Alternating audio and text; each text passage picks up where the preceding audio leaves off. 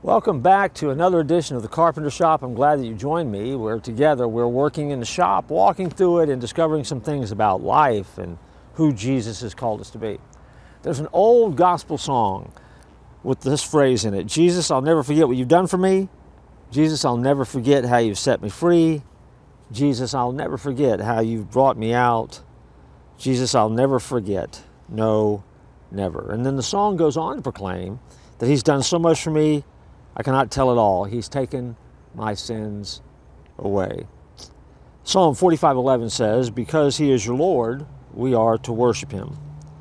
And we spend our time in life making a decision about what we're going to do with God. We can either worship him for his attributes, that's who he is, or for his actions, what he has done.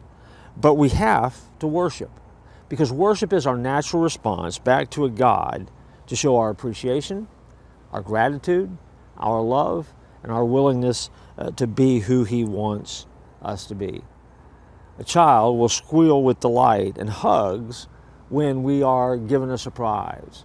Um, we get excited about things that are unexpected, and we get excited about things that are good that happen to us because we appreciate the gift that the one who's taken the time to give it to us has put into that gift itself. And yet, every day of our life, we have the opportunity, according to Scripture, to step into a brand new day and discover that His mercies are new each morning. That gives us something to celebrate. So, the real question is how well are you doing at this thing called celebrating?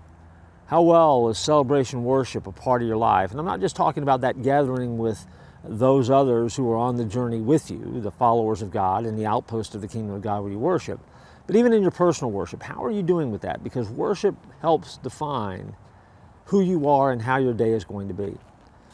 In a recent sermon series, I taught about the fact that we have to learn to do things, and you just you can do it for one day, and then you do it the next day.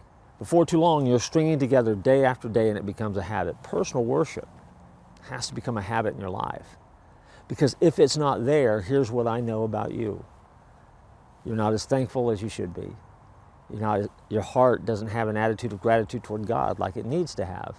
And you're robbing yourself of the joy of knowing who God is at a deeper level. Hey, I want you to be deep. I want to be deep. And to do that, we have to spend our time thanking God for who He is and what He's done. And we have to worship.